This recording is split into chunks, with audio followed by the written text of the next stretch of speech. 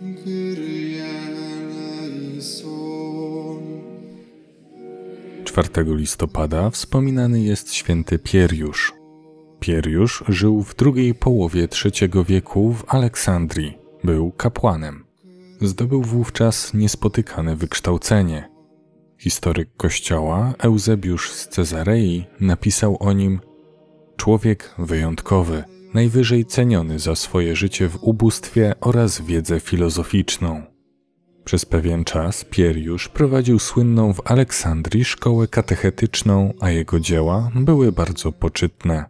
Zmarł w Rzymie po 309 roku.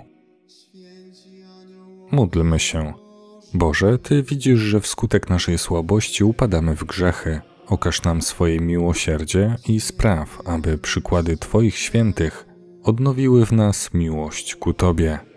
Przez naszego Pana, Jezusa Chrystusa, Twojego Syna, który z Tobą żyje i króluje w jedności Ducha Świętego, Bóg przez wszystkie wieki wieków. Amen.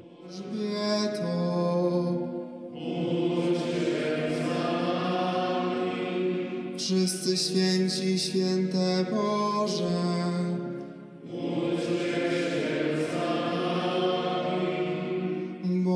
Krishna.